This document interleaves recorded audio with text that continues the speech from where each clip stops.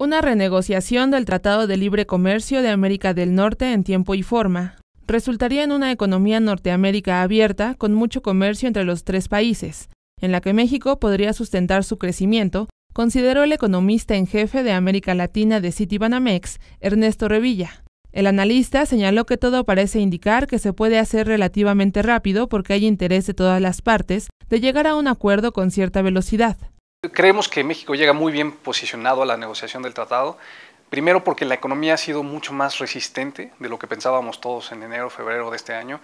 Hemos visto que la actividad económica se ha comportado muy bien, hemos visto que los riesgos que estaban asociados a la economía mexicana hace un año, hace seis meses, como era el tema de finanzas públicas, como era el tema de una inflación que iba creciendo. Todos esos temas ya están pasando, entonces México llega con una buena posición económica a negociar el tratado, pero sobre todo con un consenso muy importante en el país.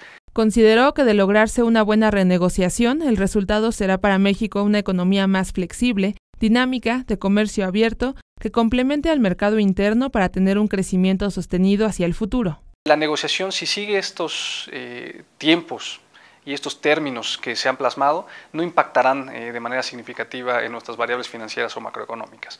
Lo que puede suceder es si se pospone demasiado eh, la, negociación, si llegamos a 2018 a las campañas presidenciales sin mucha claridad en el tratado, podría haber alguna presión eh, sobre el tipo de cambio, podría haber alguna presión sobre algunas variables de riesgo, pero de manera muy moderada.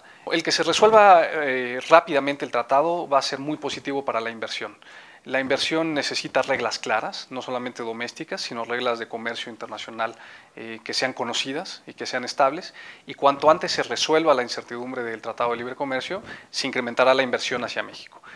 Con información de Roberto Nogués e imágenes de Eric Gómez, Notimex.